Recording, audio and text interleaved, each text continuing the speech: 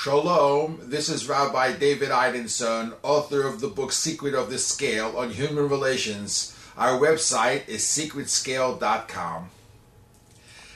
Yesterday, a prominent lady passed away in our town, and there were eulogies, and they, they, they said a lot to me, and I would like to say over what the, uh, the eulogies were and uh, what, what we're missing in the past generation great people who built our community. One of them was uh, was a lady that passed away yesterday, and she was in Europe in Romania. And in those days, there was no medicines like we have today. People had children, and this one died, and that one died. The parents died. We have no idea what it was to live in those days. And she was a young girl, and this parent died, and then the war came, and she struggled through all these things, and then her husband died. For 30 years, she was a widow. And despite all this, she remained pure and true. And it was not an age where religious people were appreciated. People said you have to dress like everybody else. And when she wanted to cover her hair, in the town where she lived, she had to go in side streets so people wouldn't yell at her and make fun of her. It's hard for us to realize what it was like in those days. It wasn't long ago, the time of our uh, parents and grandparents, people my age, and our parents and grandparents, and other people, maybe great grandparents. But to say go back a hundred years, go back, go back less than a hundred years it was a much different world. Go back 60 years, it was a much different world. People were being destroyed in the war. My point is not the horrors that happened then. My point is that people that emerged from these horrors in a positive way to build themselves and their families. And when this woman passed away, her children came, and her grandchildren came, and the community came far cry from the time she used to go down the side streets because she dressed like an Orthodox lady. Those days are gone. Nowadays, Orthodox people walk where they want to walk, the way they dress, and no one bothers them.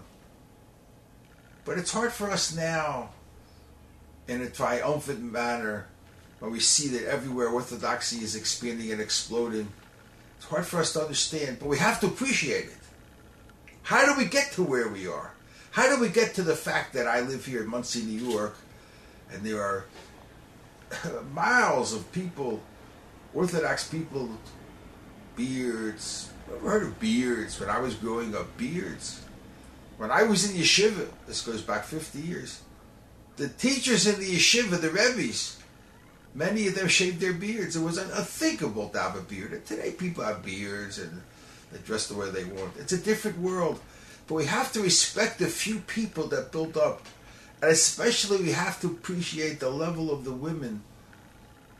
An especially difficult time of it.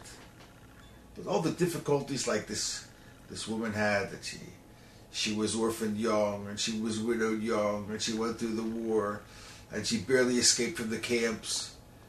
I think there were 70 people in her family and she's the only one that came out this was a horrible thing. How do people like this gather their wits and go on with life? How could they build children and grandchildren? The secret of the Jewish people are Jewish women. And the rabbis tell us this. The rabbis tell us that back in Egypt, when Pharaoh decreed on the Jewish boys to be thrown into the river, the senior rabbi of the generation, Amram, the father of Moses, got up and he said, That's it, no more children. No more children, finish. We don't need marriage. That's the end. And his daughter came to him and said, Father, Pharaoh decreed on killing boys. You, dest- you destroyed the whole Jewish people. And she said, I have faith in God that things are going to work out.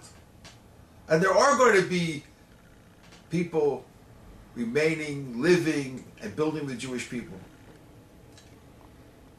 And the father recanted and took back his wife, and from that came Moses. And who saved Moses? Not the father.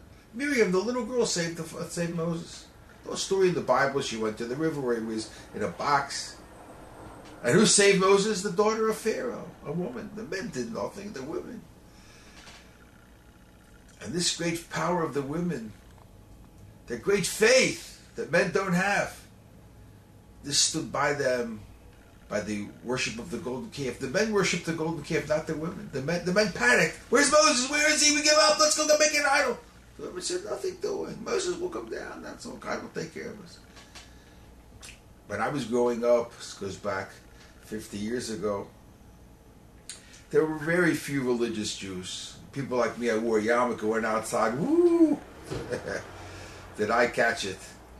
That was a very secular time everyone was non-religious. Just about all the Jews that had come to America as Orthodox Jews, they, they gave it up. They had to work on the sat on the Shabbos. They had to work on the Sabbath.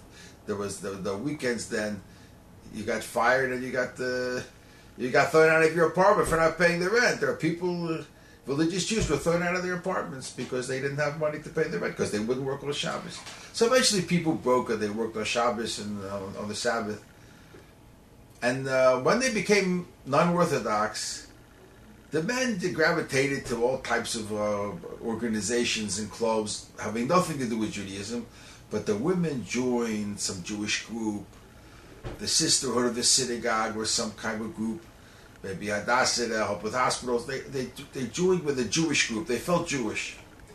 We have to recognize the great power of the Jewish woman. We have to recognize it.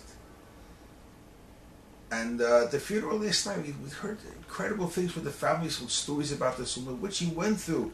And yet she had a strength and nothing bothered, nothing bothered her. This is a incredible thing. Just like little Miriam in, in Egypt. She's arguing with her father. Father's the greatest rabbi in the world. He gave up. He says, no more marriage, no more, no more. We give up. She says, no, God's going to save us. God's going to save us. She said, fair, fair decreed on the boys and you decreed on everyone because you, you want to break up marriage. You don't want Jews to continue. The Jewish women have this power it doesn't matter to them. Whatever is going on, they know there's a God. They know it. And there are really two levels of people that have faith in God. Unfortunately, we can divide this group into the men and the women. One group says, whenever there's a miracle, oh, wow, there is a God. He does save us. I wasn't so sure about that, but now I see there is a God. Hooray, hooray. That's what the men say. But the women don't look at it like that.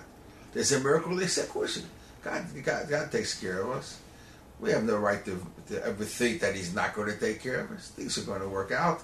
And if they don't work out, that's God's will. Everything is good. So when the miracle comes to the women, it's not the, that's not a revelation that there's a God. They always knew that. But the, the only thing is now is a time to go out and praise and say, Hodu l'Hashem Kitov, praise God for He is good, so that everybody should know it. And at the splitting of the sea, the men stood and they uh, they sang a song of praise. The women had musical instruments with them because they were sure, as Rashi tells us in his commentary on Chumash the Torah, Rashi tells us that women took musical instruments from each because they knew there were going to be miracles. The men did not.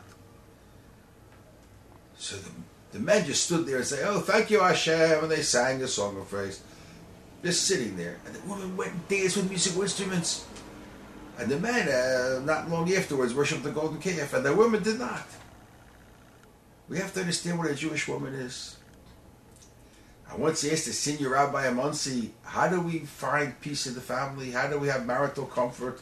It's with uh, with all the tension and stress that goes on. How can we get along in the house, have peace, domestic tranquility? How do we find it? And he said, we have to understand that in Kabbalah, the soul of the woman is higher than the soul of the man. The woman is like an angelic thing. The world was created for men.